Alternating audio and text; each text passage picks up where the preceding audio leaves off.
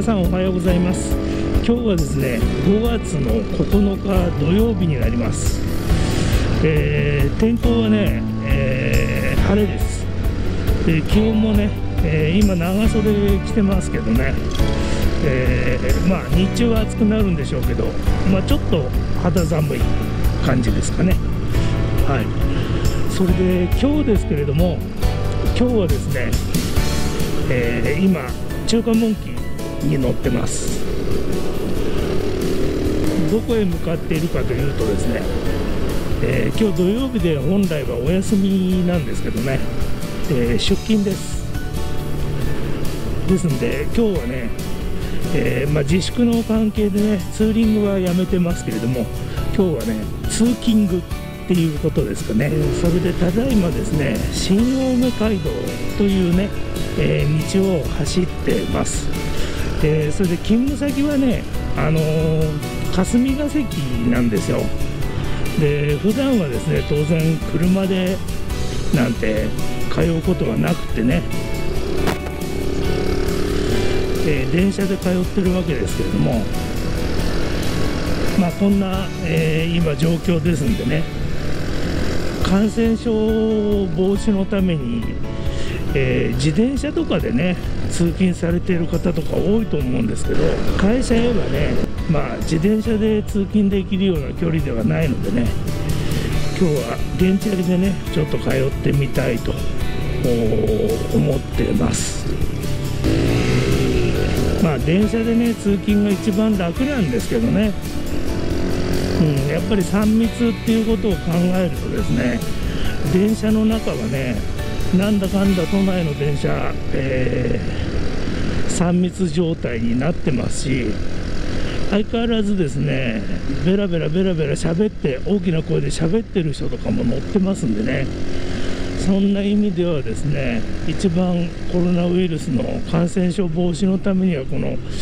ートバイいいんじゃないかなと思った次第です。まあ、ちょっと何分初めてなんでねオートバイで会社へ行くなんていうのはね、えー、今後はまず続けることはないと思いますけど、えー、今日はね土曜日ということもあってね、えー、ちょっと試しに、行ってみたいと思います。やっぱりね通勤に使ってるのはこのピンクナンバー多いですね。125cc ぐらいのオートバイが多いみたいです。今日もね土曜日なんですけどね。どうですかね皆さん。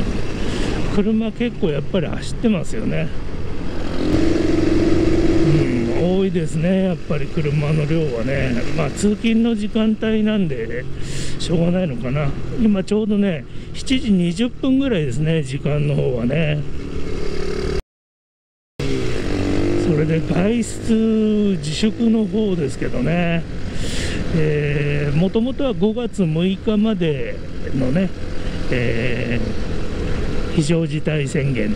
ということだったんですけども、その後、延長になって、えー、まあ、平日7日、8日と、昨日、おとといと2日間あったんですけどね。やっぱりね、全体的なね、通勤の人、あるいは出歩いてる人この数急激にやっぱ増えてますよね。まあみんながみんな気持ちが緩んじゃったわけではないと思うんですけれども、えー、どうしてもね5月6日までということをターゲットにいろいろ計画をされてたところはね、えー、7日から動かなくちゃいけなかったというようなところもあるんだと思うし、うん、まあ単純に疲れちゃってる人もいるんだと思うんですけどね、うん、私の場合はねもうどうしても行かなくては、えー、会社の方で行かなくては作業ができない内容があるんで本当は7日か8日に行きたかったんですけどね。まあその日は来るなと行くなということで、えー、混むことが想定されてたんでね。うん、今日の9日土曜日に休日出勤ということになりました。ただいまね青梅街道と環状8号線を交差するね四面堂っていう交差点にやってきました。ここもねすごく混むんですよね。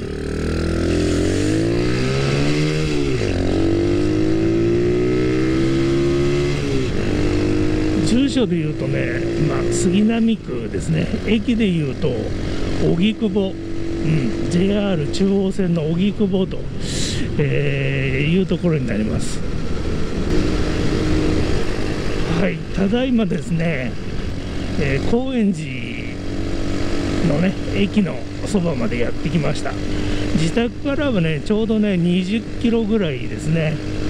えー、今時間はね7時35分ということになります。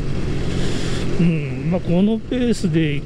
来れるとなると結構会社早く着いちゃうかもしれないな。う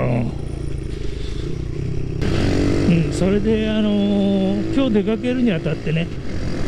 えー、ナビタイムでねだいたい所要時間とかね、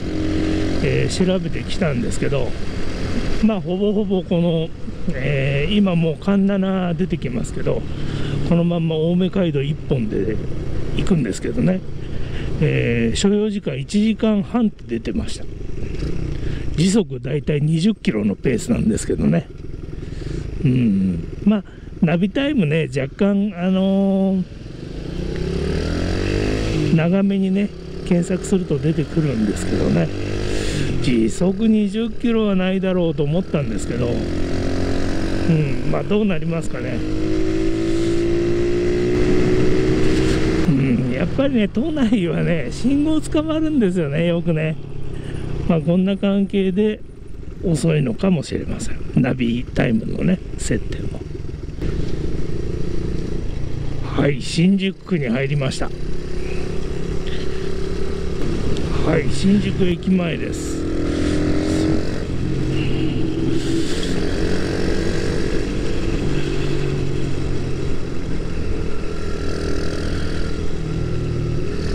いやすごいね。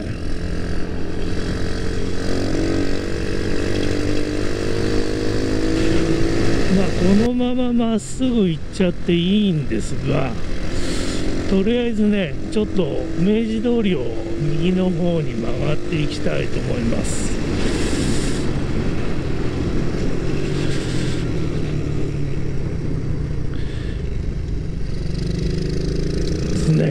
ね四谷の方抜けてった方がね早いと思います。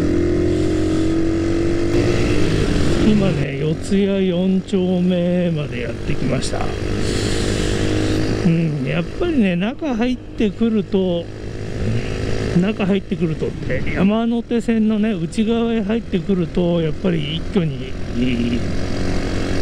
休み休日土日だとね車の量が減ってきますね。はい正面がね半蔵門になります。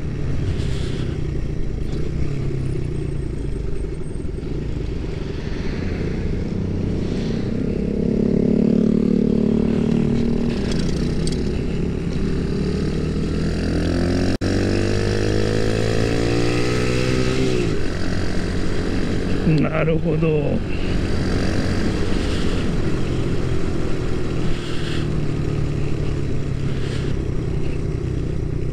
霞が関はまっすぐですね国立劇場ですね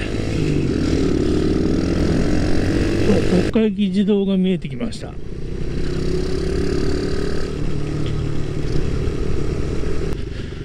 この辺来るとね、ほんとおまわりさんが多いんですよ。ここが国会議事堂の正面になります。ほんとこの辺来るとね、物々しいんですけどね。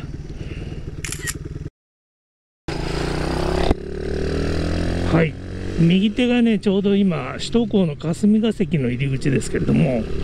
えー、私の会社はね、もうすぐそばなんですね。はいそろそろ会社の方に到着しますんでね、えー、行きの動画はねこの辺で終了したいと思います意外とね自宅からは1時間ぐらいで到着しましたね。近いです。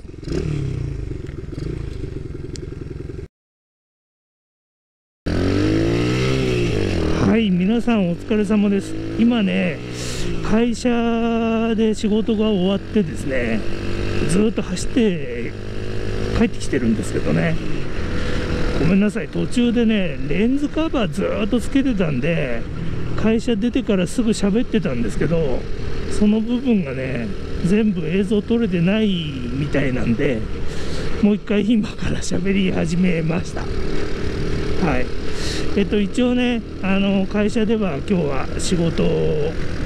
えー、会社でないとできない仕事。これがねだいぶ溜まってたんで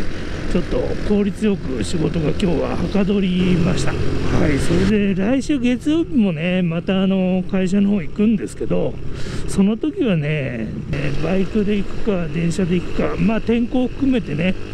またちょっと検討したいと思ってるんですけど今日まあ初めてバイクでねえー、まあ、土曜日ということもあるんでちょっと通勤グしましたけどね、うん、都内ねやっぱりね車が走ってるんで、えー、空気悪いですね。排気ガスが臭い。まあそんなのもあったりあと信号がやっぱり多いんでね信号待ち結構多いんですよね。だからやっぱり通勤をねされてる方っていうのは、まあ、今も左走ってますけどねピンクナンバーは一緒なんですけどえっとスクーターが多いですよね。だまあスクストップゴーが多いんでスクーターの方が断然ね楽なんだと思います。時間はね間違いなくバイクの方が早いです。電車よりもね、まあ、空いてるっていうのが今あるんで余計ですけどね、まあ電車のね定期券もあるわけなんで、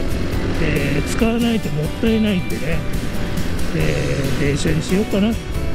まあちょっとその辺はね、えー、ゆっくりこの後考えて、えー、判断したいと思います。はい。それでは今日はね通勤具っていうことでね、えー、会社までの、まあ、都内のね混雑状況を含めてお伝えいたしました。